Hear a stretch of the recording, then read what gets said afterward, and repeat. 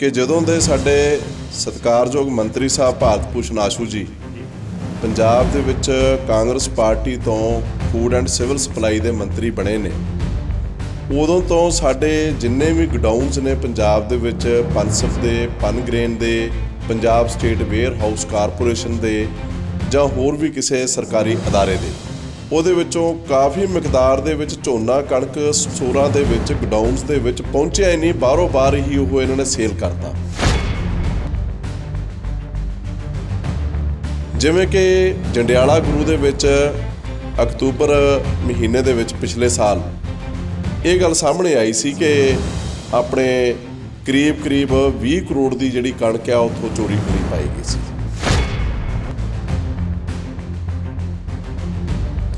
ਜਿਹਦੇ ਸਬੰਧ ਵਿੱਚ ਭਾਰਤ ਭੂਸ਼ਣ ਆਸ਼ੂ ਜੀ ਨੇ ਆਪਣਾ ਪੱਲਾ ਝਾੜ ਲਿਆ, ਇਹ ਕਹਿ ਕੇ ਕਿ ਅਸੀਂ ਦੇ ਉੱਥੋਂ ਦੇ ਇੰਸਪੈਕਟਰ ਜਸਦੇਵ ਸਿੰਘ ਨੂੰ ਸਸਪੈਂਡ ਕਰ ਦਿੱਤਾ। ਕਰੀਬ ਕਰੀਬ 87000 ਬੋਰੀ ਜਿਹੜੀ ਆ ਕਣਕ ਦੀ ਉੱਥੋਂ ਚੋਰੀ ਹੋਣੀ ਪਾਈ ਗਈ ਸੀ। ਬਾਅਦ ਵਿੱਚ ਪਤਾ ਚੱਲਿਆ ਕਿ ਉਹ 87000 ਬੋਰੀ ਕਣਕ ਦੀ ਜਿਹੜੀ ਸੀ, ਉਹ ਗਡਾਊਨ ਦੇ ਵਿੱਚ ਪਹੁੰਚੀ ਨਹੀਂ, ਮੰਡੀਆਂ ਵਿੱਚੋਂ ਖਰੀਦੀ ਤਾਂ ਜ਼ਰੂਰ ਗਈ ਸੀ, ਪਰ ਗਡਾਊਨ ਦੇ ਵਿੱਚ ਪਹੁੰਚੀ ਨਹੀਂ।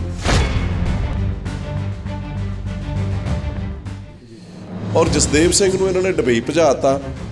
ਡਬਈ ਵਿੱਚ ਵੀ ਸੁਣਨ ਵਿੱਚ ਆਇਆ ਕਿ ਆਸ਼ੂ ਜੀ ਦੇ ਬਹੁਤ ਨਜ਼ਦੀਕੀ ਟਿਕਾਣੇ ਤੇ ਰਹਿ ਰਿਹਾ, ਜਿਹੜਾ ਕਿ ਇੱਕ ਟਿਕਾਣਾ ਇਹਨਾਂ ਦੇ ਨਾਲ ਕਿਸੇ ਨਾ ਕਿਸੇ ਢੰਗ ਨਾਲ ਸੰਬੰਧਿਤ ਹੈ। ਜਿਨ੍ਹਾਂ ਦੀ ਫਿਜ਼ੀਕਲ ਵੈਰੀਫਿਕੇਸ਼ਨ ਇਹ ਬਿਲਕੁਲ ਨਹੀਂ ਕਰਵਾ ਰਹੇ, ਕਿਉਂਕਿ ਇਹਨਾਂ ਨੂੰ ਪਤਾ ਆ ਕਿ ਜੇਕਰ ਫਿਜ਼ੀਕਲ ਵੈਰੀਫਿਕੇਸ਼ਨ ਕਰਵਾਈ ਗਈ ਤੇ ਅਰਬਾਂ ਖਰਬਾਂ ਦੀ ਕਣਕ ਜਿਹੜੀ ਆ, ਜਿਹੜੀ ਇਹਨਾਂ ਨੇ ਖੁਦ ਚੋਰੀ ਕੀਤੀ ਹੋਈ ਆ ਜਾਂ ਕਰਵਾਈ ਹੋਈ ਆ ਜਾਂ ਸਕੈਮ ਕੀਤੇ ਹੋਏ ਨੇ, ਉਹ ਸਾਹਮਣੇ ਆ ਜਾਣੀ ਆ। ਕਿ ਇਸ ਸਕੈਮ ਦੇ ਵਿੱਚ ਜੋ ਜਨਤਾ ਦੀ ਆਵਾਜ਼ ਆ, ਜੋ ਲੋਕ ਕਹਿ ਰਹੇ ਨੇ, ਜੋ ਇਹਨਾਂ ਦੇ ਛੋਟੇ-ਮੋਟੇ ਅਧਿਕਾਰੀ ਵੀ ਇਨਸਾਫ ਪਸੰਦ ਇਹਨਾਂ ਡਿਪਾਰਟਮੈਂਟ ਦੇ ਸਰਕਾਰੀ ਦੇ ਕਹਿ ਰਹੇ ਨੇ ਕਿ ਭਾਰਤ ਭੂਸ਼ਣ ਆਸ਼ੂ ਜੀ ਦੀ ਇਨਵੋਲਵਮੈਂਟ ਜਿਹੜੀ ਡਾਇਰੈਕਟਲੀ ਇਨਡਾਇਰੈਕਟਲੀ ਇਹਨਾਂ ਦੇ ਵਿੱਚ ਜ਼ਰੂਰ ਆ। ਪਰ ਅੱਜ ਤੱਕ ਇਸ ਫੂਡ ਐਂਡ ਸਿਵਲ ਸਪਲਾਈ ਮੰਤਰੀ ਦੇ ਖਿਲਾਫ ਪੰਜਾਬ ਸਰਕਾਰ ਨੇ ਆਸ਼ੂ ਜੀ ਦੇ ਖਿਲਾਫ ਕੋਈ ਕਾਰਵਾਈ ਨਹੀਂ ਕੀਤੀ। ਕਿਉਂ ਨਹੀਂ ਕੀਤੀ? ਇਹ ਪ੍ਰਮਾਤਮਾ ਜਾਣਦਾ ਹੈ ਕਿ ਇਹਨਾਂ ਦੀ ਲੋਕਾਂ ਦੀ ਕੀ ਮਜਬੂਰੀ ਆ। ਔਰ ਹੁਣ ਵੀ ਦੁਬਾਰਾ ਜਦੋਂ ਕਿ ਨਵਜੋਤ ਸਿੱਧੂ ਕਰਪਟ ਮੰਤਰੀਆਂ ਨੂੰ ਆਪਣੀ ਸਰਕਾਰ ਵਿੱਚ ਨਹੀਂ ਸੀ ਲਿਆਉਣਾ ਚਾਹੁੰਦੇ, ਪਰ ਫਿਰ ਵੀ ਕਿਸੇ ਨਾ ਕਿਸੇ ਢੰਗ ਦੇ ਨਾਲ ਸੁਣਨ ਵਿੱਚ ਆਇਆ ਕਿ ਇਹ ਗਲਤ ਰਸਤਾ ਅਖਤਿਆਰ ਕਰਕੇ ਦੁਬਾਰਾ ਮੰਤਰੀ ਬਣੇ ਨੇ ਉਹ ਗੰਦੀ ਕਣਕ ਪ੍ਰਾਈਵੇਟ ਸਿਸਟਮ ਤੋਂ ਖਰੀਦ ਕੇ ਲੈ ਕੇ ਆਉਂਦੇ ਨੇ। ਵਧੀਆ ਕਣਕ ਦੇ ਵਿੱਚ ਉਹਨੂੰ ਮਿਕਸ ਕਰਦੇ ਨੇ। ਫਿਰ ਸਾਡੇ ਭੋਲੇ ਭਾਲੇ ਲੋਕਾਂ ਨੂੰ ਉਹ ਜਾ ਕੇ ਵੰਡਦੇ ਨੇ, ਵੇਚਦੇ ਨੇ, ਕਰਦੇ ਨੇ। ਇਸ ਤੋਂ ਇਹ ਗੱਲ- ਗੱਲ ਜਿਹੜੀ ਆ ਬਿਲਕੁਲ ਸਾਬਤ ਹੋ ਗਈ ਕਿ ਇਹ ਸਾਰਾ ਇੱਕ ਸਕੈਮ ਦਾ ਹਿੱਸਾ ਆ। ਕਿਉਂਕਿ ਵਧੀਆ ਕਣਕ ਜਿਹੜੀ ਆ ਬਾਹਰ ਆਪਣੇ ਅਸਲੀ ਭਾਅ ਤੇ ਵੇਚ ਦਿੰਦੇ ਨੇ ਜਿਹੜੀ ਕਿ ਇਹਨਾਂ ਨੇ ਲੋਕਾਂ ਨੂੰ ਵੰਡਣੀ ਸੀ ਜਾਂ ਦੇਣੀ ਸੀ ਇਹ ਸਕੈਮ ਬਾਹਰ ਆਉਣ ਤੋਂ ਬਾਅਦ ਭੂਸ਼ਣ ਜੀ ਇਹ ਨਹੀਂ ਕਹਿ ਸਕਦੇ ਕਿ ਉਹਨਾਂ ਦੀ ਰਹਿਨਮਾਈ ਦੇ ਹੇਠ ਇਹ ਸਕੈਮ ਨਹੀਂ ਵਾਪਰ ਰਹੇ ਹੁਣ ਤਾਂ ਪੁਖਤਾ ਸਬੂਤ ਆ ਗਏ ਇਸ ਚੀਜ਼ ਦੇ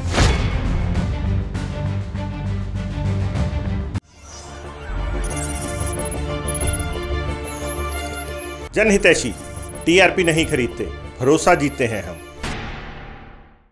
ਸਤਿ ਸ਼੍ਰੀ ਅਕਾਲ ਜੀ, ਮੈਂ ਸੰਦੀਪ ਸ਼ਰਮਾ, ਇੱਕ ਵਾਰੀ ਫੇਰ ਤੁਹਾਡੇ ਨਾਲ ਰੂਬਰੂ ਹੋ ਰਿਹਾ ਹਾਂ ਤੇ ਅੱਜ ਦਾ ਸਾਡਾ ਮੁੱਦਾ ਹੈ ਜਿਹੜਾ ਪੰਜਾਬ ਦੇ ਵਿੱਚ ਲਗਾਤਾਰ ਪਿਛਲੇ ਕਾਫੀ ਸਮੇਂ ਤੋਂ ਆਰੋਪ ਲੱਗਦੇ ਆ ਰਿਹਾ ਹੈ ਕਿ ਜਿਹੜੇ ਕਣਕ ਹੈ ਜਾਂ ਪਨਸਪ ਦੀ ਹੋਵੇ ਪਨਗ੍ਰੇਨ ਦੀ ਹੋਵੇ, ਉਹ ਕਣਕ ਦੇ ਵਿੱਚ ਕਾਫੀ ਮਿਲਾਵਟ ਕੀਤੀ ਜਾ ਰਹੀ ਹੈ। ਸੋ ਬਹੁਤ ਸਾਰੇ ਆਰੋਪ ਲੱਗਦੇ ਰਹੇ ਹੈ ਵੱਡੇ ਵੱਡੇ ਅਧਿਕਾਰੀਆਂ ਤੇ ਮੰਤਰੀਆਂ ਤੇ ਉਹ ਸਾਰੇ ਮਾਮਲੇ ਦੇ ਵਿੱਚ ਅੱਜ ਜਿਹੜੇ ਸਾਡੇ ਲੁਧਿਆਣਾ ਤੋਂ ਐਡਵੋਕੇਟ ਹੈਗੇ ਹੈ ਵਿਕਰਮਜੀਤ ਸਿੰਘ ਸਿੱਧੂ ਇਹਨਾਂ ਨੇ ਵਿਜੀਲੈਂਸ ਨੂੰ ਕੰਪਲੇਂਟ ਵੀ ਕੀਤੀ ਹੈ। ਸੋ ਜਾਣਦੇ ਹਾਂ ਕੀ ਇਹ ਮਾਮਲਾ ਸਾਰਾ ਕੀ ਕੀ ਕਿਹਦੇ ਖਿਲਾਫ ਕੰਪਲੇਂਟ ਕੀਤੀ ਹੈ ਔਰ ਕੀ ਅੱਗੇ ਦਾ ਅਗਲਾ ਸਟੈਪ ਕੀ ਹੋਏਗਾ। ਸਤਿ ਸ਼੍ਰੀ ਅਕਾਲ ਸਰ। ਸਤਿ ਸ੍ਰੀ ਅਕਾਲ ਜੀ। ਸਰ ਕੀ ਅੱਜ ਸਾਨੂੰ ਪਤਾ ਲੱਗਿਆ ਤੁਸੀਂ ਇੱਕ ਪੰਜਾਬ ਦੇ ਪੰਜਾਬ ਸਟੇਟ ਦੇ ਜਿਹੜੇ ਮਹਿਕਮੇ ਬਾਰੇ ਔਰ ਵੱਡੇ ਵੱਡੇ ਅਧਿਕਾਰੀਆਂ ਬਾਰੇ ਕੁਝ ਕੰਪਲੇਂਟ ਕੀਤੀ ਹੈ ਸਰਕਾਰ ਨੂੰ ਵਿਜੀਲੈਂਸ ਨੂੰ ਕੀ ਮਾਮਲਾ ਹੈ? ਬਿਲਕੁਲ ਸਹੀ ਗੱਲ ਹੈ ਜੀ ਜੀ। ਕਿ ਜਦੋਂ ਦੇ ਸਾਡੇ ਸਤਿਕਾਰਯੋਗ ਮੰਤਰੀ ਸਾਹਿਬ ਭਾਰਤ ਭੂਸ਼ਣ ਆਸ਼ੂ ਜੀ ਜੀ। ਪੰਜਾਬ ਦੇ ਵਿੱਚ ਕਾਂਗਰਸ ਪਾਰਟੀ ਤੋਂ ਫੂਡ ਐਂਡ ਸਿਵਲ ਸਪਲਾਈ ਦੇ ਮੰਤਰੀ ਬਣੇ ਨੇ। ਉਦੋਂ ਤੋਂ ਸਾਡੇ ਜਿੰਨੇ ਵੀ ਗਡਾਊਨਸ ਨੇ ਪੰਜਾਬ ਦੇ ਵਿੱਚ ਪਨਸਪ ਦੇ ਪਨਗ੍ਰੇਨ ਦੇ Punjab state warehouse corporation ਦੇ ਜਾਂ ਹੋਰ ਵੀ ਕਿਸੇ ਸਰਕਾਰੀ ਅਦਾਰੇ ਦੇ ਜਿਨ੍ਹਾਂ ਦੇ ਵਿੱਚ ਕਣਕ ਝੋਨਾ ਵਗੈਰਾ ਜਿਹੜਾ ਆ ਸਟੋਰ ਕਰਕੇ ਰੱਖਿਆ ਜਾਂਦਾ। ਉਹਦੇ ਵਿੱਚੋਂ ਕਾਫੀ ਮਿਕਦਾਰ ਦੇ ਵਿੱਚ ਚੋਰੀ ਹੋਣਾ ਪਾਇਆ ਗਿਆ। ਉਹਦੇ ਵਿੱਚੋਂ ਕਾਫੀ ਮਿਕਦਾਰ ਦੇ ਵਿੱਚ ਝੋਨਾ ਕਣਕ ਸਟੋਰਾਂ ਦੇ ਵਿੱਚ ਗਡਾਊਨਸ ਦੇ ਵਿੱਚ ਪਹੁੰਚਿਆ ਹੀ ਨਹੀਂ ਬਾਹਰੋਂ ਬਾਹਰ ਹੀ ਉਹ ਇਹਨਾਂ ਨੇ ਸੇਲ ਕਰਤਾ। ਜਿਹਦੇ ਸਬੰਧ ਵਿੱਚ ਕਰੋੜਾਂ ਅਰਬਾਂ ਦੇ ਐਲੀਗੇਸ਼ਨ ਜਿਹੜੇ ਨੇ ਪਿਛਲੇ ਸਾਲ ਵੀ ਸਾਹਮਣੇ ਆਏ ਔਰ ਇਸ ਸਾਲ ਵੀ ਸਾਹਮਣੇ ਆਏ ਉਸ ਤੋਂ ਪਿਛਲੇ ਸਾਲ ਵੀ ਸਾਹਮਣੇ ਆਏ। ਜਿਵੇਂ ਕਿ ਜੰਡਿਆਲਾ ਗੁਰੂ ਦੇ ਵਿੱਚ ਅਕਤੂਬਰ ਮਹੀਨੇ ਦੇ ਵਿੱਚ ਪਿਛਲੇ ਸਾਲ ਇਹ ਗੱਲ ਸਾਹਮਣੇ ਆਈ ਸੀ ਕਿ ਆਪਣੇ ਕਰੀਬ-ਕਰੀਬ 20 ਕਰੋੜ ਦੀ ਜਿਹੜੀ ਕਣਕ ਆ, ਉੱਥੋਂ ਚੋਰੀ ਹੋਣੀ ਪਾਈ ਗਈ ਸੀ। ਜਿਹਦੇ ਸਬੰਧ ਵਿੱਚ ਭਾਰਤ ਭੂਸ਼ਣ ਆਸ਼ੂ ਜੀ ਨੇ ਆਪਣਾ ਪੱਲਾ ਝਾੜ ਲਿਆ। ਇਹ ਕਹਿ ਕੇ ਕਿ ਅਸੀਂ ਦੇ ਉੱਥੋਂ ਦੇ ਇੰਸਪੈਕਟਰ ਜਸਦੇਵ ਸਿੰਘ ਨੂੰ ਸਸਪੈਂਡ ਕਰ ਦਿੱਤਾ। ਕਰੀਬ-ਕਰੀਬ 87000 ਬੋਰੀ ਜਿਹੜੀ ਆ, ਕਣਕ ਦੀ ਉੱਥੋਂ ਚੋਰੀ ਹੋਣੀ ਪਾਈ ਗਈ ਸੀ। ਬਾਅਦ ਵਿੱਚ ਪਤਾ ਚੱਲਿਆ ਕਿ ਉਹ 87000 ਬੋਰੀ ਕਣਕ ਦੀ ਜਿਹੜੀ ਸੀ, ਉਹ ਗਡਾਊਨ ਦੇ ਵਿੱਚ ਪਹੁੰਚੀ ਨਹੀਂ। ਮੰਡੀਆਂ ਵਿੱਚੋਂ ਖਰੀਦੀ ਤਾਂ ਜ਼ਰੂਰ ਗਈ ਸੀ, ਪਰ ਗਡਾਊਨ ਦੇ ਵਿੱਚ ਪਹੁੰਚੀ ਨਹੀਂ। ਔਰ ਜਸਦੇਵ ਸਿੰਘ ਨੂੰ ਇਹਨਾਂ ਨੇ ਡਬਈ ਭਜਾਤਾ। ਡਬਈ ਵਿੱਚ ਵੀ ਸੁਣਨ ਵਿੱਚ ਆਇਆ ਕਿ ਆਸ਼ੂ ਜੀ ਦੇ ਬਹੁਤ ਨਜ਼ਦੀਕੀ ਟਿਕਾਣੇ ਤੇ ਰਹਿ ਰਿਹਾ ਜਿਹੜਾ ਕਿ ਇੱਕ ਟਿਕਾਣਾ ਇਹਨਾਂ ਦੇ ਨਾਲ ਕਿਸੇ ਨਾ ਕਿਸੇ ਢੰਗ ਨਾਲ ਸੰਬੰਧਿਤ ਆ। ਕਹਿਣ ਦਾ ਭਾਵ ਉਸ ਸਕੈਮ ਵਿੱਚ ਵੀ ਇਹਨਾਂ ਦੀ ਡਾਇਰੈਕਟ ਇਨਵੋਲਵਮੈਂਟ ਸੀ। ਉਸ ਤੋਂ ਪਹਿਲਾਂ ਮੋਗੇ ਦੇ ਵਿੱਚ ਵੀ ਕਰੋੜਾਂ ਰੁਪਏ ਦਾ ਸਕੈਮ ਹੋਇਆ ਗਡਾਊਨ ਦੇ ਵਿੱਚ ਬਾਗਾ ਪੁਰਾਣਾ ਵਿਖੇ। ਲੁਧਿਆਣਾ ਵਿੱਚ ਵੀ ਹੋਇਆ ਅੰਮ੍ਰਿਤਸਰ ਵਿੱਚ ਵੀ ਹੋਇਆ ਫਿਰੋਜ਼ਪੁਰ ਵਿੱਚ ਵੀ ਹੋਇਆ। ਪੰਜਾਬ ਦੇ ਵਿੱਚ ਸੌਵਾਂ ਦੀ ਮਿਕਦਾਰ ਦੇ ਵਿੱਚ ਸਰਕਾਰੀ ਗਡਾਊਨ ਨੇ ਕਣਕ ਤੇ ਝੋਨੇ ਦੇ। ਜਿਨ੍ਹਾਂ ਦੀ ਫਿਜ਼ੀਕਲ ਵੈਰੀਫਿਕੇਸ਼ਨ ਇਹ ਬਿਲਕੁਲ ਨਹੀਂ ਕਰਵਾ ਰਹੇ। ਕਿਉਂਕਿ ਇਹਨਾਂ ਨੂੰ ਪਤਾ ਆ ਕਿ ਜੇਕਰ ਫਿਜ਼ੀਕਲ ਵੈਰੀਫਿਕੇਸ਼ਨ ਕਰਵਾਈ ਗਈ ਤੇ ਅਰਬਾਂ ਖਰਬਾਂ ਦੀ ਕਣਕ ਜਿਹੜੀ ਆ ਜਿਹੜੀ ਇਹਨਾਂ ਨੇ ਖੁਦ ਚੋਰੀ ਕੀਤੀ ਹੋਈ ਆ ਜਾਂ ਕਰਵਾਈ ਹੋਈ ਆ ਜਾਂ ਸਕੈਮ ਕੀਤੇ ਹੋਏ ਨੇ ਉਹ ਸਾਹਮਣੇ ਆ ਜਾਣੀ ਆ। ਔਰ ਜਿੱਥੇ ਜਿੱਥੇ ਵੀ ਫਿਜ਼ੀਕਲ ਵੈਰੀਫਿਕੇਸ਼ਨ ਹੁੰਦੀ ਆ ਉੱਥੇ ਆ ਚੀਜ਼ ਸਾਹਮਣੇ ਆ ਜਾਂਦੀ ਆ। ਜਿਹਦੇ ਸਬੰਧ ਵਿੱਚ ਪਹਿਲਾਂ ਵੀ ਅਸੀਂ ਵੱਖ-ਵੱਖ ਪ੍ਰੈਸ ਕਾਨਫਰੰਸ ਕਰਵਾ ਕੇ ਇਹ ਗੱਲ ਕਹਿ ਚੁੱਕੇ ਆ ਕਿ ਇਸ ਸਕੈਮ ਦੇ ਵਿੱਚ ਜੋ ਜਨਤਾ ਦੀ ਆਵਾਜ਼ ਆ, ਜੋ ਲੋਕ ਕਹਿ ਰਹੇ ਨੇ, ਜੋ ਇਹਨਾਂ ਦੇ ਛੋਟੇ-ਮੋਟੇ ਅਧਿਕਾਰੀ ਵੀ ਇਨਸਾਫ ਪਸੰਦ ਇਹਨਾਂ ਡਿਪਾਰਟਮੈਂਟ ਦੇ ਸਰਕਾਰੀ ਦੇ ਕਹਿ ਰਹੇ ਨੇ ਕਿ ਭਾਰਤ ਭੂਸ਼ਣ ਆਸੂ ਜੀ ਦੀ ਇਨਵੋਲਵਮੈਂਟ ਜਿਹੜੀ ਡਾਇਰੈਕਟਲੀ ਇਨਡਾਇਰੈਕਟਲੀ ਇਹਨਾਂ ਦੇ ਵਿੱਚ ਜ਼ਰੂਰ ਆ ਅਸੀਂ ਪ੍ਰੈਸ ਕਾਨਫਰੰਸ ਕਰਕੇ ਪਹਿਲਾਂ ਵੀ ਹੋਰ ਵੀ ਕਈ ਪੋਲੀਟੀਕਲ ਪਾਰਟੀਆਂ ਨੇ ਇਹ ਗੱਲ ਕਹੀ। ਪਰ ਅੱਜ ਤੱਕ ਇਸ ਫੂਡ ਐਂਡ ਸਿਵਲ ਸਪਲਾਈ ਮੰਤਰੀ ਦੇ ਖਿਲਾਫ ਪੰਜਾਬ ਸਰਕਾਰ ਨੇ ਆਸ਼ੂ ਜੀ ਦੇ ਖਿਲਾਫ ਕੋਈ ਕਾਰਵਾਈ ਨਹੀਂ ਕੀਤੀ। ਕਿਉਂ ਨਹੀਂ ਕੀਤੀ? ਇਹ ਪ੍ਰਮਾਤਮਾ ਜਾਣਦਾ ਹੈ ਕਿ ਇਹਨਾਂ ਦੀ ਲੋਕਾਂ ਦੀ ਕੀ ਮਜਬੂਰੀ ਆ। ਔਰ ਹੁਣ ਵੀ ਦੁਬਾਰਾ ਜਦੋਂ ਕਿ ਨਵਜੋਤ ਸਿੱਧੂ ਕਰਪਟ ਮੰਤਰੀਆਂ ਨੂੰ ਆਪਣੀ ਸਰਕਾਰ ਵਿੱਚ ਨਹੀਂ ਸੀ ਲਿਆਉਣਾ ਚਾਹੁੰਦੇ, ਪਰ ਫਿਰ ਵੀ ਕਿਸੇ ਨਾ ਕਿਸੇ ਢੰਗ ਦੇ ਨਾਲ ਸੁਣਨ ਵਿੱਚ ਆਇਆ ਕਿ ਇਹ ਗਲਤ ਰਸਤਾ ਅਖਤਿਆਰ ਕਰਕੇ ਦੁਬਾਰਾ ਮੰਤਰੀ ਬਣੇ ਨੇ। ਸਰ ਸਿੱਧੂ ਸਾਹਿਬ, ਤੁਸੀਂ ਬੜੇ ਵੱਡੇ ਐਡਵੋਕੇਟ ਹੋ। ਤੁਹਾਡਾ ਔਰ ਕਾਨੂੰਨੀ ਦਾਅ ਪੇ ਤੁਸੀਂ ਸਭ ਸਮਝਦੇ ਹੋ। ਤੁਹਾਡੇ ਤੋਂ ਬਿਹਤਰ ਬਹੁਤ ਘੱਟ ਐਕਸਪਰਟ ਹੈਗੇ ਪੰਜਾਬ ਦੇ ਵਿੱਚ। ਮੈਂ ਤੁਹਾਡੇ ਨਾਲ ਇਹੀ ਪੁੱਛਣਾ ਚਾਹੁੰਦਾ ਸੀਗਾ, ਬਾਰ-ਬਾਰ ਆਰੋਪ ਲੱਗ ਰਿਹਾ ਹੈ ਸਰਿਆਮ ਭਾਰਤ ਭੂਸ਼ਣ ਆਸ਼ੂ ਜੀ ਤੇ, ਪਰ ਸੈਕਿੰਡ ਟਾਈਮ ਵੀ ਉਹਨਾਂ ਨੂੰ ਮੰਤਰੀ ਬਣਾਇਆ ਜਾਣਾ, ਕਿਤੇ ਨਾ ਕਿਤੇ ਸਮਝ ਲੱਗਦਾ ਕਿ ਸ਼ਾਇਦ ਉਹ ਜਿਹੜੇ ਹਾਈ ਕਮਾਨ ਹੈਗਾ, ਉਹਨਾਂ ਦੀ ਨਜ਼ਰਾਂ 'ਚ ਬਹੁਤ ਅੱਛੇ ਲੀਡਰ ਹੈਗੇ ਆ ਜਾਂ ਬਹੁਤ ਨੇਕ ਦਿਲ ਇਨਸਾਨ ਹੈਗੇ ਆ, ਤਾਂ ਸ਼ਾਇਦ ਉਹਨਾਂ ਨੂੰ ਬਣਾਇਆ ਗਿਆ। ਤੁਸੀਂ ਉੱਤੇ ਵੀ ਆਰੋਪ ਲਗਾ ਰਹੇ ਹੋ ਕਿ ਉਹਨਾਂ ਦੇ ਕੈਲੀਬਰ ਤੇ ਸਵਾਲ ਚੱਕ ਰਹੇ ਹੋ। ਕਾਂਗਰਸ ਹਾਈ ਕਮਾਂਡ ਦੇ ਵਿੱਚ ਜਾ ਕੇ ਅੱਛੇ ਹੋਣਾ ਉਹ ਇੱਕ ਵੱਖਰਾ ਹੀ ਢੰਗ ਆ। ਇਨਸਾਨੀਅਤ ਤੇ ਇਨਸਾਫੀਅਤ ਦਾ ਉੱਥੇ ਕੋਈ ਵੀ ਰਸਤਾ ਨਹੀਂ ਹੈਗਾ। ਜੀ। ਕਾਬਲੀਅਤ ਦਾ ਕੋਈ ਰਸਤਾ ਨਹੀਂਗਾ ਜੋ ਕਾਂਗਰਸ ਹਾਈ ਕਮਾਂਡ ਦੀ ਫਿਤਰਤ ਆ। ਇਸੇ ਹੀ ਫਿਤਰਤ ਦੇ ਆਧਾਰ ਤੇ ਉਹਨਾਂ ਨੇ ਰਾਣੇ ਗੁਰਜੀਤ ਵਰਗੇ ਮੰਤਰੀ ਬਣਾਏ ਜਿਹੜੇ ਕਿ ਆਪਣੇ ਲੈਂਡ ਮਾਈਨ ਜਿਹੜੇ ਮਾਈਨਿੰਗ ਦੇ ਵਿੱਚ ਬਿਲਕੁਲ ਇਨਵੋਲਵ ਨੇ ਔਰ ਆਪਣੇ ਬਹਾਦਰ ਦੇ ਨਾਂ ਤੇ ਕਰੋੜਾਂ ਰੁਪਏ ਦਾ ਬਿਜ਼ਨਸ ਕਰਦੇ ਸੀ ਜਿਸ ਕਰਕੇ ਉਹਨਾਂ ਨੂੰ ਮੰਤਰੀ ਪਦ ਤੋਂ ਬਰਖਾਸਤ ਕੀਤਾ ਗਿਆ ਸੀ। ਔਰ ਉਸੇ ਮੰਤਰੀ ਨੂੰ ਦੁਬਾਰਾ ਬਣਾਉਣਾ ਇਹ ਵੀ ਸਾਹਮਣੇ ਆ। ਆਸ਼ੂ ਜੀ ਦੇ ਖਿਲਾਫ ਲੁਧਿਆਣਾ ਇੰਪਰੂਵਮੈਂਟ ਟਰਸਟ ਦੇ ਅਰਬਾਂ ਖਰਬਾਂ ਦੇ ਦੋਸ਼ ਲੱਗੇ। ਗੱਲ ਸਾਬਤ ਹੋਈ। ਉਸ ਤੋਂ ਬਾਅਦ ਅਨਾਜ ਦੇ ਸਕੈਮ ਦੇ ਦੋਸ਼ ਲੱਗੇ। ਉਸ ਤੋਂ ਬਾਅਦ ਇਹਨਾਂ ਦੇ ਖਿਲਾਫ ਸਮਾਰਟ ਸਿਟੀ ਦੇ ਵਿੱਚ ਕਰੋੜਾਂ ਰੁਪਏ ਦਾ ਘਪਲੇਬਾਜ਼ੀ ਕਰਨ ਦੇ ਦੋਸ਼ ਲੱਗੇ। ਫਿਰ ਵੀ ਮੰਤਰੀ ਬਣਾਇਆ ਗਿਆ। ਉਹ ਸੈਂਟਰ ਸਰਕਾਰ ਦੇ ਜਿਹੜੇ ਆਪਣੇ ਹੈਗੇ ਨੇ ਹਾਈ ਕਮਾਂਡ ਇਹਨਾਂ ਦੀ ਕਾਂਗਰਸ ਪਾਰਟੀ ਦੀ ਸੋਨੀਆ ਗਾਂਧੀ ਜੀ ਦੀ। ਕੀ ਮਜਬੂਰੀ ਆ? ਕਿਉਂ ਮੰਤਰੀ ਬਣਾਇਆ ਗਿਆ? ਇਹ ਉਹਨਾਂ ਨੂੰ ਪਤਾ ਹੋਏਗਾ। ਔਰ ਹੁਣ ਜਿਹੜਾ ਅਸੀਂ ਕਹਿ ਰਹੇ ਆ ਉਹ ਅਸੀਂ ਸਬੂਤਾਂ ਦੇ ਆਧਾਰ ਤੇ ਕਹਿ ਰਹੇ ਆ ਕਿ ਸਕੈਮ ਦੇ ਵਿੱਚ ਇਹਨਾਂ ਦੀ ਇਨਵੋਲਵਮੈਂਟ ਆ। ਸਰ ਕਿੱਦਾਂ ਦੇ ਸਬੂਤ ਸਾਨੂੰ ਵੀ ਦਿਖਾਓਗੇ ਥੋੜੇ ਜਿਹੇ? ਏਐਫਐਸਓ ਰੈਂਕ ਦਾ ਅਧਿਕਾਰੀ ਆ ਜੀ। ਜਿਸ ਨੇ ਕੱਲ ਸਾਰੇ ਪੰਜਾਬ ਦੇ ਵਿੱਚ ਜੀ। ਆਪਣੇ ਸੋਸ਼ਲ ਮੀਡੀਆ ਦੇ ਉੱਪਰ ਜੀ। ਆਪਣੇ ਰੂਬਰੂ ਹੋ ਕੇ ਜਿਨ੍ਹਾਂ ਦਾ ਨਾਮ ਹੈ ਸ਼ਿਵ ਕੁਮਾਰ ਖੰਨਾ ਜੀ। ਉਹਨਾਂ ਨੇ ਆਪਣੇ ਇਹ ਸੋਸ਼ਲ ਨੈਟਵਰਕ ਤੇ ਵੀਡੀਓ ਪਾਈ। ਕਿ ਇਹ ਜਿਹੜੇ ਸਾਰੇ ਮੰਤਰੀ ਨੇ ਜਿੰਨੇ ਵੀ ਲੀਡਰ ਨੇ ਜਿੰਨੇ ਸੀਨੀਅਰ ਅਧਿਕਾਰੀ ਨੇ ਇਸ ਡਿਪਾਰਟਮੈਂਟ ਦੇ ਵਿੱਚ ਪਨਸਪ ਦੇ ਪਨਗ੍ਰੇਨ ਦੇ ਫੂਡ ਐਂਡ ਜਿਹੜੇ ਆਪਣੇ food and civil supply department ਦੇ ਉਹ ਗੰਦੀ ਕਣਕ ਪ੍ਰਾਈਵੇਟ ਸਿਸਟਮ ਤੋਂ ਖਰੀਦ ਕੇ ਲੈ ਕੇ ਆਉਂਦੇ ਨੇ। ਵਧੀਆ ਕਣਕ ਦੇ ਵਿੱਚ ਉਹਨੂੰ ਮਿਕਸ ਕਰਦੇ ਨੇ। ਫਿਰ ਸਾਡੇ ਭੋਲੇ ਭਾਲੇ ਲੋਕਾਂ ਨੂੰ ਉਹ ਜਾ ਕੇ ਵੰਡਦੇ ਨੇ ਵੇਚਦੇ ਨੇ ਕਰਦੇ ਨੇ। ਇਸ ਤੋਂ ਇਹ ਗੱਲ ਜਿਹੜੀ ਆ ਬਿਲਕੁਲ ਸਾਬਤ ਹੋ ਗਈ ਕਿ ਇਹ ਸਾਰਾ ਇੱਕ ਸਕੈਮ ਦਾ ਹਿੱਸਾ ਆ।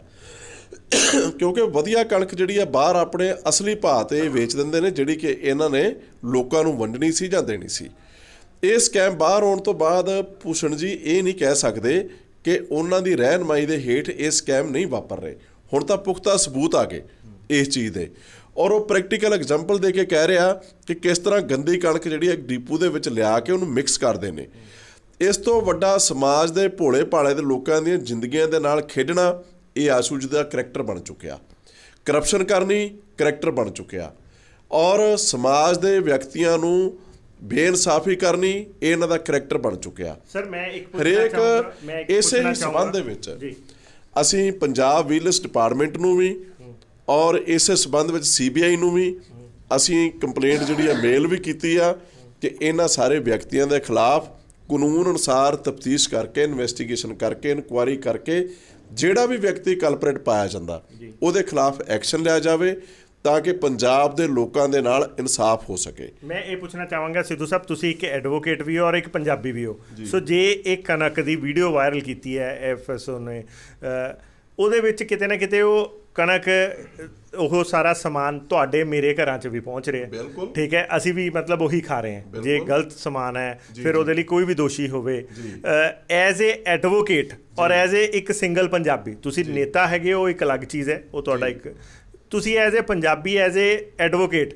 ਤੁਸੀਂ ਕੀ ਕਾਰਵਾਈ ਜਾਂ ਕੀ ਪਰਸਨਲ ਇੱਕ ਪਰਸਨਲ ਲੈਵਲ ਤੇ ਕੋਈ ਇੱਕ ਐਕਸ਼ਨ ਲਓਗੇ? ਕਿਉਂਕਿ ਕਿਤੇ ਨਾ ਕਿਤੇ ਉਹ ਸਾਰਾ ਸਾਡੇ ਹੱਥਾਂ 'ਚ ਵੀ ਸਾਡੇ ਮਤਲਬ ਮੈਨੂੰ ਤੁਹਾਨੂੰ ਵੀ ਉਹ ਫੀਡ ਹੋ ਰਿਹਾ ਸਭ ਨੂੰ ਹੋ ਰਿਹਾ ਤੇ ਦੋਸ਼ੀਆਂ ਦੇ ਅਗੇਂਸਟ ਤੁਸੀਂ personal as a advocate Sidhu ji ਦਾ ਆਪਣਾ ਇੱਕ ਬਹੁਤ ਵੱਡਾ ਰੁਤਬਾ ਹੈ। ਉਹ ਕੀ ਕਰਨਗੇ? ਦੇਖੋ ਸਾਡੇ ਸਮਾਜ ਦੀ ਇਹ ਤਰਾਸਤਗੀ ਆ ਜੀ। ਕਿ ਸਾਨੂੰ ਇਹੋ ਜਿਹੇ ਲੀਡਰਾਂ ਨੂੰ ਚੱਲਣਾ ਪੈਂਦਾ ਹੈ। ਜਿਹੜੇ ਕਿ ਸਾਡੇ ਉੱਪਰ ਆਪਣੇ ਇੱਕ ਅਰਾਜਕਤਾ ਵਾਲੀ ਗੱਲ ਲੈ ਕੇ ਸਾਡੇ ਤੇ ਹਕੂਮਤ ਕਰਦੇ ਨੇ ਔਰ ਏਡੇ ਵੱਡੇ ਸਕੈਮਾਂ ਨੂੰ ਅੰਜਾਮ ਦਿੰਦੇ ਨੇ। ਕਾਰਨ ਅੱਜ ਇਹ ਬਣ ਚੁੱਕਿਆ ਆ ਕਿ ਜਿਹੜਾ ਇੱਕ ਵਾਰ ਸੀਟ ਤੇ ਬੈਠ ਜਾਂਦਾ ਆ, ਉਹ ਕਹਿੰਦਾ ਜੀ ਮੈਂ ਹੀ ਰਾਜਾ ਆ, ਬਾਕੀ ਤੇ ਸਾਰੇ ਇੱਥੇ ਪਰਚਾਈ ਆ। ਪਰ ਇਹਨਾਂ ਨੂੰ ਇਸ ਗੱਲ ਨੂੰ ਆਸ਼ੂ ਜੀ ਵਰਗੇ ਲੋਕ ਭੁੱਲ ਜਾਂਦੇ ਨੇ ਕਿ ਤੁਹਾਨੂੰ ਜੇਕਰ ਅੱਜ ਮੰਤਰੀ ਪਦ ਮਿਲਿਆ ਤੇ ਉਹ ਲੋਕਾਂ ਦੀ ਬਦੌਲਤ ਹੀ ਮਿਲਿਆ, ਜਿਨ੍ਹਾਂ ਲੋਕਾਂ ਨੂੰ ਤੁਸੀਂ ਗੰਦੀ ਤੇ ਘਟੀਆ ਕਣਕ ਖਵਾਉਂਦੇ ਹੋ। ਉਹਨਾਂ ਲੋਕਾਂ ਨੇ ਹੀ ਤੁਹਾਨੂੰ ਗਾਂ 2022 ਵਿੱਚ ਵੋਟਾਂ ਪਾਉਣੀਆਂ ਨੇ। ਸਮਾਂ ਆ ਗਿਆ ਨਜ਼ਦੀਕ। ਇਹਨਾਂ ਨੂੰ ਪਤਾ ਲੱਗ ਜਾਏਗਾ ਕਿ ਕਿਸ ਤਰ੍ਹਾਂ ਦੀ ਸਿਸਟਮ ਹੁੰਦੇ ਨੇ। ਲੋਕ ਸਭ ਜਾਣਦੇ ਨੇ, ਸਭ ਪੜ੍ਹਦੇ ਨੇ। ਹਾਂ, ਅੱਜ ਮੌਕਾ ਆ। ਅੱਜ ਲੋਕ ਇਸ ਕਰਕੇ ਥੋੜਾ ਜਿਹਾ ਨਹੀਂ ਬੋਲਦੇ ਕਿ ਅਸੀਂ ਅੱਜ ਇਹ ਪਾਵਰ ਵਿੱਚ ਨੇ। ਸਾਡਾ ਕਿਤੇ ਨੁਕਸਾਨ ਨਾ ਕਰ ਦੇਣ, ਸਾਡੇ ਕਿਤੇ ਬਿਜ਼ਨਸ ਦਾ ਨੁਕਸਾਨ ਨਾ ਕਰ ਦੇਣ। ਕਿਉਂਕਿ ਇਹਨਾਂ ਦੀ ਫਿਤਰਤ ਵੀ ਬਣੀ ਹੋਈ ਆ ਕਿ ਜਿਹੜਾ ਵਿਅਕਤੀ ਇਹਨਾਂ ਦੇ ਖਿਲਾਫ ਆਵਾਜ਼ ਚੁੱਕਦਾ ਉਹਦਾ ਕਿਸੇ ਨਾ ਕਿਸੇ ਢੰਗ ਦੇ ਨਾਲ ਇਹ ਨੁਕਸਾਨ ਕਰਦੇ ਨੇ, ਆਰਥਿਕ ਤੌਰ ਤੇ, ਮਾਨਸਿਕ ਤੌਰ ਤੇ ਫਿਜ਼ੀਕਲ ਤੌਰ ਤੇ, ਇਹ ਸਾਰੀਆਂ ਚੀਜ਼ਾਂ ਸਾਡੇ ਸਮਾਜ ਦੇ ਵਿੱਚ ਘਰ ਕਰ ਚੁੱਕੀਆਂ ਨੇ। ਪਰ ਮੇਰੀ, ਸਾਡੇ ਇੱਕ ਰਿਸਪੈਕਟਡ ਸਮਾਜ ਨੂੰ ਬੇਨਤੀ ਵੀ ਆ ਕਿ ਜੇਕਰ ਅਜਈਆਂ ਗੱਲਾਂ ਤੋਂ ਨਿਜਾਤ ਪਾਉਣੀ ਆ, ਤਾਂ ਤੁਹਾਨੂੰ ਇਹੋ ਜਿਹੇ ਸਿਸਟਮ ਤੋਂ ਨਿਜਾਤ ਲੈਣੀ ਪਊਗੀ।